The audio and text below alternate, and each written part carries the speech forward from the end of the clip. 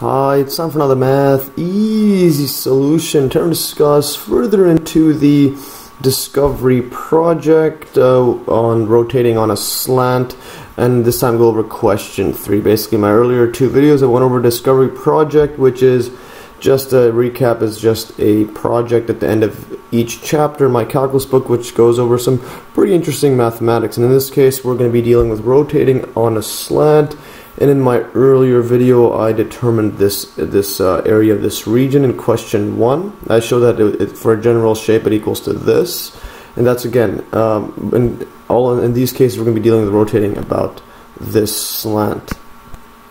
So uh, basically, question one was this area, and then question two, like I solved in my last video, I showed that for a specific example of this, if you're given a function like this, I show that this area is equal to 4 pi, which I just used this formula to solve it. And now, yeah, again, so make sure to watch my earlier videos to get uh, caught up on question 1 and 2.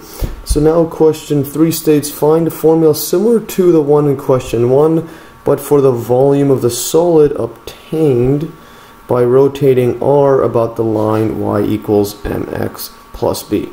So the region r is this, so again, if we were to rotate about here and this time solve for the volume, what we get is, let's go like this.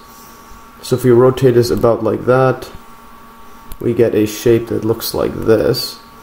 Then draw in 3D, go something like that. So now this is the volume that we are going to look at, which is across this whole thing. So that's for question three. So if we go ahead and just look at question 3 right here, what I'm going to do is just paste that same image over here. And now what we're going to do is basically recall the derivation I did for this area here. In, in my question 1 video. I basically looked at this section right here. And now if we were to rotate this, I'll call this length Li and then this is delta U so if we were to rotate just this section across, you get something that looks, let's draw this like that, looks something like this. Draw this in 3D. And now this goes across like that. And then this across it, that's Li. And now we have a volume, which is just this thin slice. So for this thin slice, we could use basically this small section Li, which is, again, that's Li. We have delta U, and then basically the area of this circle is just pi r squared or pi times Li squared, and then multiplied by the width, which is delta U. So this is delta U. So basically, if we recall, well, well, actually, before we get to that, this little section here, we'll call this VI.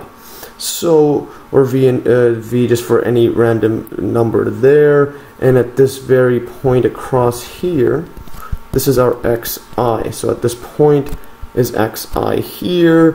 So what we get is the total volume is going to be, well, just basic summing up um, infinite sections like in my earlier videos on integrals and how we derive them basically as n approaches infinity of the sum i equals to 1 up to n and in this case we have vi. So we basically sum this whole thing up and in this case our vi is just, is just going to be equal to let's write this down here n approaches infinity and i equals 1 vi is just the uh, area times this width. So area here ai is just equal to pi r squared, where r is the radius, which is li. So pi times li squared. So we'll just put that down here, and then then the then you multiply by delta u. So pi times li squared, and then times it by delta u for this uh, volume of this uh, of this slice here. But then again, we're summing it up into infinity, where this n is just infinite of these, and they're going to be infinitely small. And also basically recall from my question 1 video, so recall from uh, Q1 in my earlier video where I had to derive Li to find this region area, this, this whole region there, and I showed that Li is equal to, this is going to be f of xi minus mxi minus b, and then square root 1 plus m squared. And again, this m and b are part of this line right here. And f of xi is this point here, f of xi. And this is again at the point i there, xi there. So that's what li is equal to. Okay, let's write it a bit neater. And then I also showed that our delta u in terms of x is equal to delta x times it by, this is going to be 1 plus m times f prime, or the slope, or the derivative at xi. And then this is all divided by, let's write it like this, all divided by square root 1 plus m squared.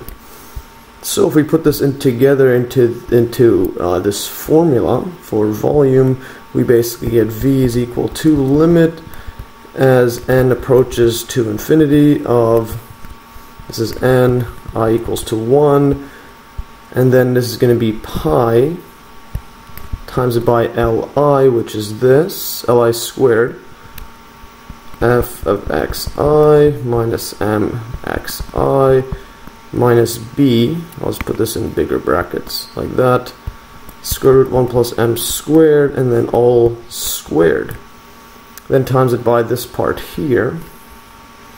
Let's go 1 plus m f x i, 1 plus m squared, and then here's delta x.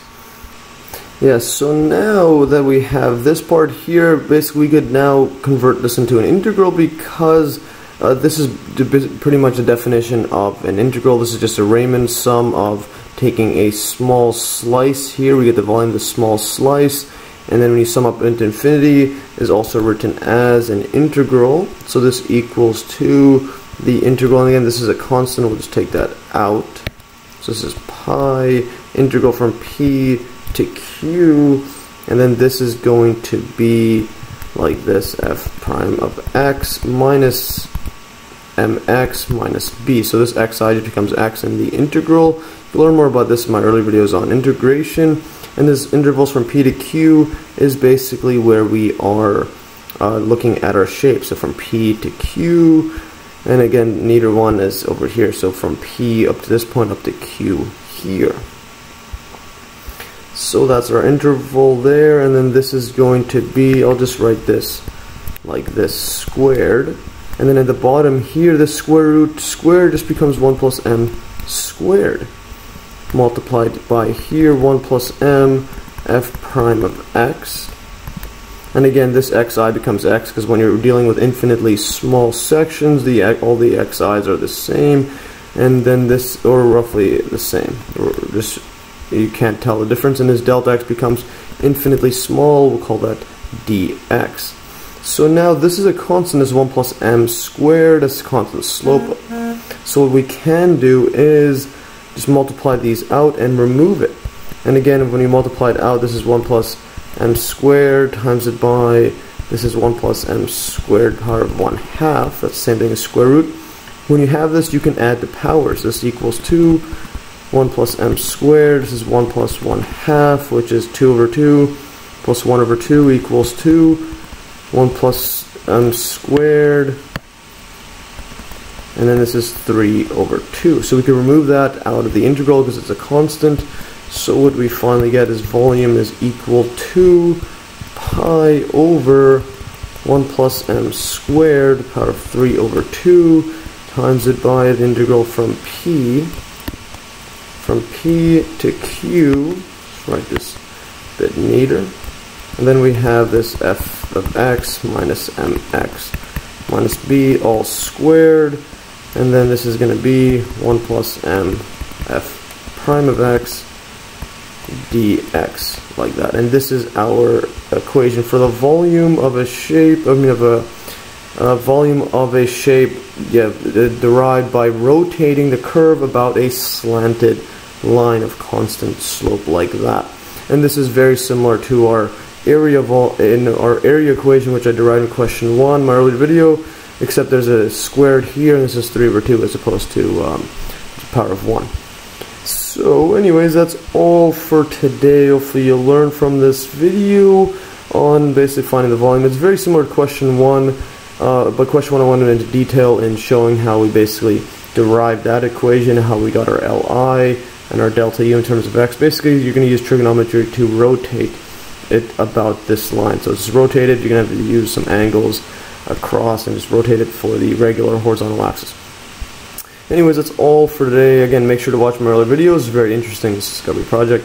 Anyways, that's all for today. I don't know what's over here. But anyways, though, well, let's fix this. Anyways, that's all for today. If we learned, and like always, you could download these exact notes in the link below. And thanks for watching. Stay tuned for another Math Easy solution.